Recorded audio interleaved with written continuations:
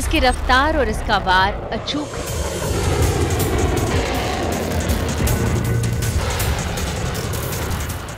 इसलिए ये भारतीय सेना के तरकश का सबसे खतरनाक हथियार है। नाम है सुपरसोनिक क्रूज मिसाइल ब्रह्मोस, जो पहले ही कई परीक्षणों में अपनी ताकत का लोहा मनवा चुकी है और अब इसकी रेंज को बढ़ाकर इसे और भी ज़्यादा खतरनाक बना दिया गया है।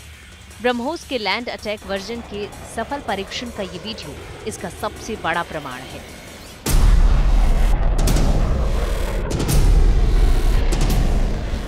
महज 14 सेकंड के इस वीडियो में सुपरसोनिक रफ्तार से ब्रह्मोस का ये नया वर्जन अपने लक्ष्य की ओर बढ़ती दिखी। और 14 सेकंड में ही इसने सफलतापूर्वक टारगेट को भी तबाह कर दिया। इस टेस्ट की सफलता की जानकारी खुद इंडियन एयरफोर्स की ओर से सोशल मीडिया पर तस्वीरें और वीडियो शेयर करते हुए दी गई।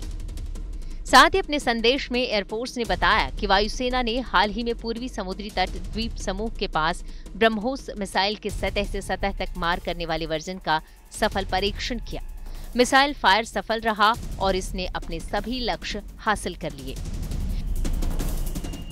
ब्रह्मोस मिसाइल की मारक क्षमता को लेकर भारतीय वायुसेना को एक बड़ी सफलता मिली है। भारतीय वायुसेना ने सरफेस से सरफेस में मार करने वाली ब्रह्मोस मिसाइल के वर्जन का सफल परीक्षण किया और ये परीक्षण सभी मानकों पर खरा उतरा है। टारगेट को पिन पॉइंट करके ध्वस्त किया गया। इस मिसाइल की रेंज 300 से 800 किलोमीटर तक की दूरी के बीच है, जिसे धीरे धीरे बढ़ाया जा रहा है। ये टेस्ट भी इसी मकसद से किया गया था।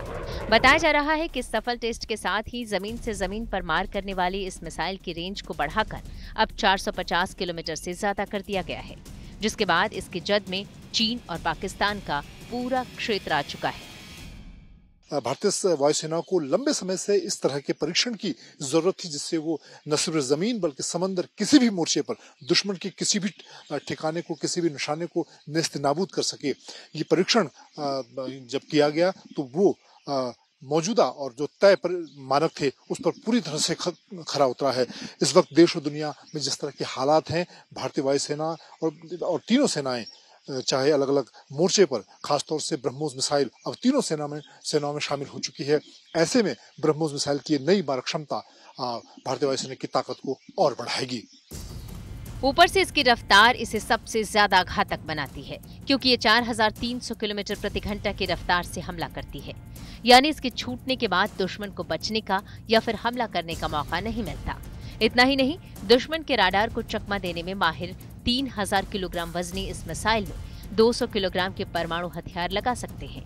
बड़ी बात यह भी है कि इसे पनडुब्बियों, जंगी जहाजों, फाइटर प्लेन और ज़मीन से दागा जा सकता है। इसकी इतनी खूबियों की वजह से ही ब्रह्मोस क्रूज मिसाइल को हिंदुस्तानी सेना का ब्रह्मास्त्र कहा जाता है, जिसे रूस के सहयोग से देश में ही बनाया गया है। बीते कुछ सालों में ब्रह्मोस के कई परीक्षण हो चुके हैं, जिनमें ये मिसाइल सभी पैमानों पर खरी उतरी है, और इस बार भी ऐसा ही हुआ है। इसके साथ भारतीय सेना के नाम एक और उपलब्धि जुड़ गई है। वीडियो पसंद आया तो हमें लाइक कमेंट शेयर और सब्सक्राइब ज़रूर करें।